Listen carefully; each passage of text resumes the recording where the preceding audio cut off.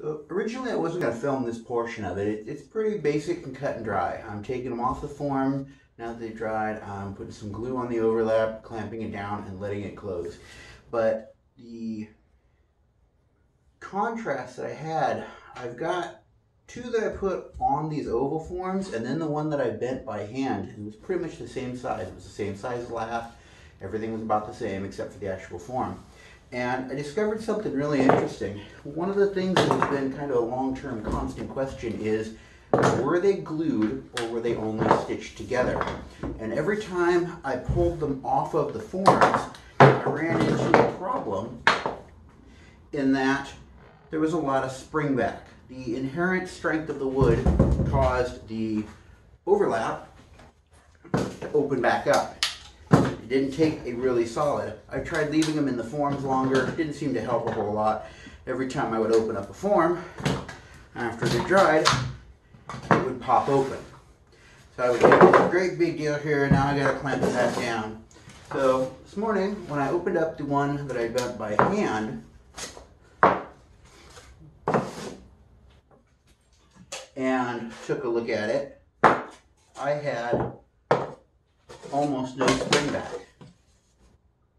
The actual inherent just being able to manipulate the wood by hand, compress a little bit more so that when it sprung back out, the amount that it did seems to be much lessened. This is the worst of the three. This one's a little bit better, but the one I did by hand, not a problem whatsoever. And I actually noticed it when I did this one as well. Again, this was my single entry piece. This one was actually split, cut, planed to thickness all completely by hand and then bent without a form. And this one is not glued, it's just laced down. And you can see it's raised up a little bit here and there's a little bit of a gap, but it actually goes together a lot nicer than some of the ones without gluing it. So I found it just a really fascinating kind of piece of uh, um, evidence here that I'm on the right track with maybe not using the forms and just gluing by hand by how snug this was without any glue whatsoever. I have glued everything up and it's now fully dried and ready to move on to the next step, except for the one that I did by hand. That one I left, I'm not gluing it, I'm gonna go with it as a purely period attempt as much as possible.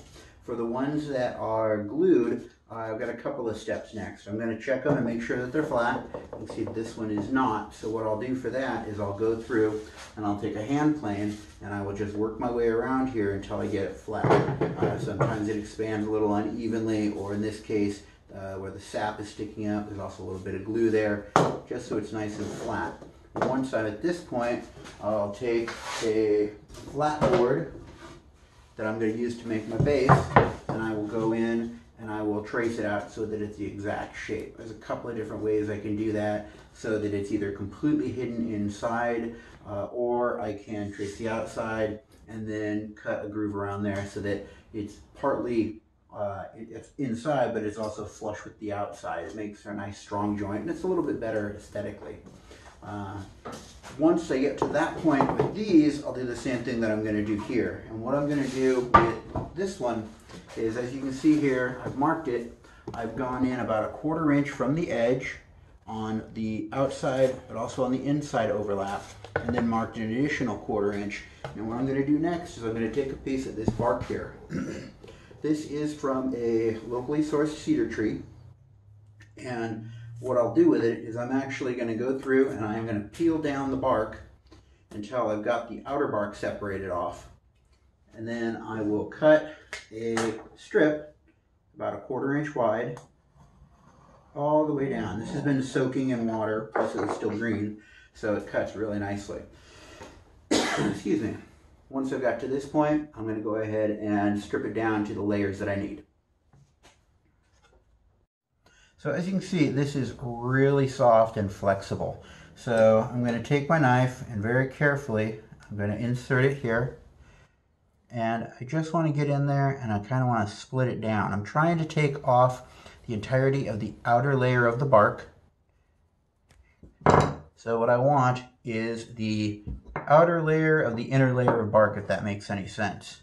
You can see there's still a slight color differential here and I want about a three inch long piece. So I'm going to go ahead and I'm going to cut it. Like I said, it's been soaking, so it's nice and pliable. Plus the wood itself, its bark, it's nice and soft. So I'm just gonna take and I'm gonna shave that down a little bit, get it a bit thinner. Not an exact science, I'm, I'm going by feel here. I'm also kind of watching the grain of the wood to see that it's all on the same layer as much as I can. And it's still really thick for what I want. I want it to be roughly half of that. So from then what I'll start doing is I'm gonna scrape it to make sure that I've got it down all in that single layer. And then I am going to very carefully try and split that in half. Got it mostly there. So now I want to peel it, taking off as much of this inner layer as I can. And you can direct the split a bit by pulling more on one side or the other to kind of channel it to where you want it to go. So now I've got it. This one's nice and really thin, but I can feel with my fingers on it, and you can see from right here that it's it's not all on one layer. So I'm gonna kind of, again, I'm just gonna really gently plane it with the knife to try and get it as flat as possible in a uniform thickness so it bends well. Um, and then I'm going to go through by hand and if you can see here where it's starting to crack, those cracks are actually the outer layer that I still need to take off. So by bending it, I'm breaking that up so it comes off a little easier, but I'm also preconditioning it to go in the wood and add it pre-bent so it doesn't snap on me. So as I said earlier, I marked these spots here, and this is where I'm going to be going through. I've got a mark here that's about an inch down from the top, and a mark here, it's about an inch and a half because of the thickness of the board. I want it roughly centered, uh, which should work pretty well to space it out and be aesthetically pleasing. I might actually move this down a little bit more because again, I'm going to put a lid on this later on. So I'll probably move that one down about a half inch. Uh, there's a couple of different ways to do this. You can drill a hole in it on both sides and then connect it with the knife. Or you can take your knife and you can just start working it down in there until you've got a slot going all the way through. So I'm going to go ahead and get those slots prepared uh, off camera and then we'll come back to lace it. So this is a reproduction uh, of an auger, well, a spoon bit or an auger uh, gimlet. They have different names depending on sizes. Uh, this is what I'll use to actually bore the hole here. And the way I'm going to do that is pretty simple. It is just going to get put there and I'm just going to rotate it back and forth as it slowly carves itself a hole. You can see here, it's being a hole. It's not all the way through yet. So I'm going to keep going until, voila, we're now all the way through. So I drilled both holes and now I'm going to take my knife. Uh, it's a nice fine bladed little knife. Got this one in Sweden. I really love this knife. And basically I'm going to go back and forth taking little slivers out to connect both sides of the hole. So I'm just going to take a little bit out at a time, a little bit at a time until it's completely free and I've got a slot going all the way across. So I've cut two slots now and I've got my lacing material here. I went ahead and smoothed it out a little bit because once these go in, they're not coming out and I don't want those pencil lines to show be showing. So I'm going to come in from the back. I'm going to go into the hole.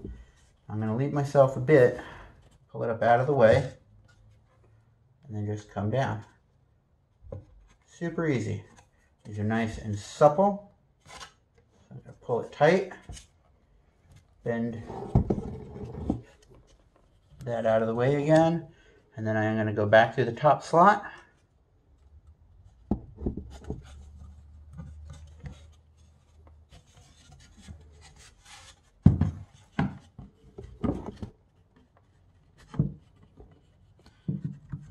and work it through. I have now looped over that piece. It's kind of locked itself in place. And come back through again.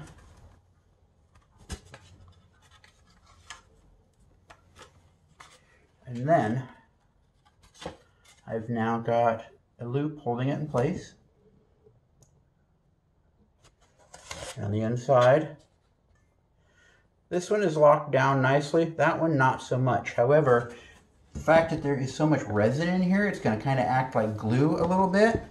It's also, once these dry, they should stiffen up and hold it in place really well. So I will complete the other four, or the other three on here, and then I'll set this aside for a few days and just let it dry and do its thing.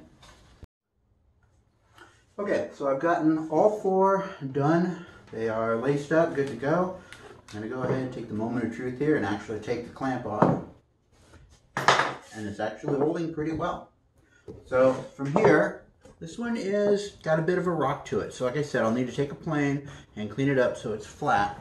And then I'll trace it on the base, on, on a piece of wood to make the base. Once I've got the base in, I will actually cut another piece of wood, another lath about this same thickness, and then use the form itself, the box itself, as the form to wrap it around. So to make the lid, I get it like this here. This one's a little tight. There we go. And, then I will do the same thing with the lid. I'll flip it upside down, I'll put it on top of another piece of wood, and I'll make the lid that way. So at this point, we've got the body done and laced, and I've got a ring made to go for the lid. Now we need to see about going about making the lid and the base for the box. Now for that, I'm just going to use a plain old plank of pine for that.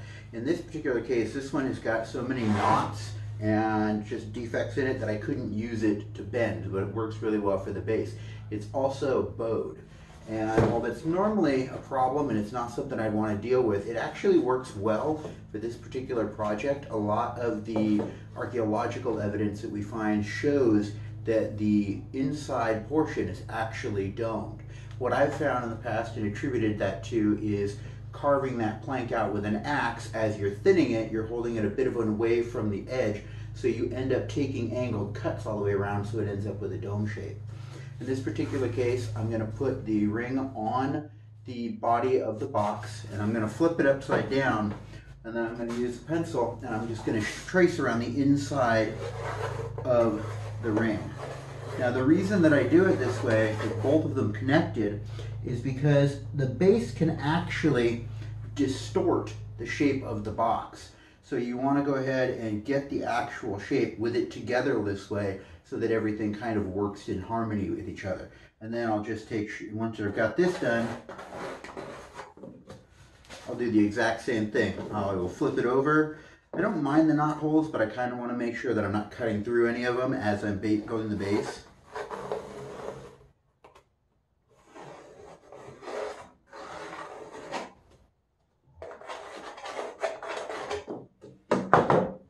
And then I'll just cut it out. So I've gone ahead and I used described lines and I cut a top and I cut a bottom. Normally I'll cut them just to the outside of the line and then I'll kind of work my way in with a rasp or sanding to get it as close as possible to get a nice tight fit. Uh, I don't usually use glue for the top or the bottom. I do, however, peg them. So this is still a nice, very tight fit. I'll make sure that my lid is flush all the way around and then I will go in and I will drill in, put in a dowel. Uh, for this one there, normally you'd use a uh, spoon bit or possibly some kind of a, um, with a gimlet handle to it. I don't currently have one of those. I'm still trying to find one. So I'm kind of forced to use what I've got on hand, which is a modern drill bit. The strange thing about these is that normally it's an asymmetrical uh, arrangement. There normally are five pegs, most common. You'll find one kind of dead center, and then the rest spread out more or less on both the top and the bottom. Uh, in my case, the best way I found for it is to use a fairly small dowel, uh, about a 5 64ths, also known as a toothpick. Works really well. So I'll come in and I'll go down uh, about a quarter of an inch or so. I'll drill in just a little bit and then I will angle my hole up and come out through the top. Uh, grabbing a chisel, I'll use that. I'll slice the toothpick in half. It's me small dowel. I like toothpicks because they're already pointed, so they go in the hole really nicely. It's really easy. And then I can just tap them home.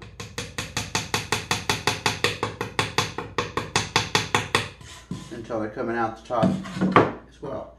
Lay it flush, back and forth, and cut my dowel off, flush with the face. And now I've got a doweled on lid. I'll do that four more on the lid, five on the base, and then after that it's just a matter of a little bit of cleanup and some oil and I'm done. And we're done. Uh, uh, now I have pegged in at the top and the bottom so that's all one complete piece. It fit together, I touched up the outside a little bit, smooth it out, rounded all the edges to prevent uh, breaking and fraying, and I put a coat of uh, boiled linseed oil on it. Historically speaking, there is no real evidence of finish of that nature on it. Um, we use oil and uh, polyurethane, things like that to protect things and also to enhance the grain and bring out the, the, the, figure of the wood, which doesn't seem to have been a medieval aesthetic at all. Um, especially in this case, if you look at the, the grain of this particular box, the features that make it possible, that smooth, even, straight grain all the way around, makes it really kind of boring to look at. So it's not really something you want to look at a whole lot. You're not going to enhance the grain. If it would have been decorated at all, there are some examples of boxes that have been painted uh, and decorated that way. Um, there's a couple of examples that have been carved with, uh, for, you know, shallow lines to make geometric patterns and such on it. But um, in this particular case, this one's it's pretty much a, a done deal for me. Um, I'm uh, we we tend to use our uh, equipment a little bit differently. We take it uh, long distances in varying weather conditions, so it does need a little bit of that protection modernly for traveling distances when we're having the wood expand and contract much faster than it normally would by being in a home environment or being transported by foot or by carriage or by horse. So it it's, ties in with our modern aesthetic as well as providing protection for our modern lifestyle. One of the other considerations for leaving it this way without any further embellishment is again, if we look back at the illuminations that we've got examples of or the paintings that we find them, they are just bare wood more often than not. We'll see them up under the benches, we'll see them on shelves or tucked away in various places. And it's just a plain bare wood finish. So this particular look does better in keeping with the aesthetics that we're seeing from the examples that we have through illumination. Um, this pretty well reaches a, a culmination for me. At this point, I've answered a lot of the questions that I had on hows and whys. I, I have a plausibly uh, medieval uh, method of construction with tools that would have been appropriate to the time, with construction methods, with materials. So I am I am kind of shifting my focus from here on out more towards uh, further uh, process rather than um, research of maybes.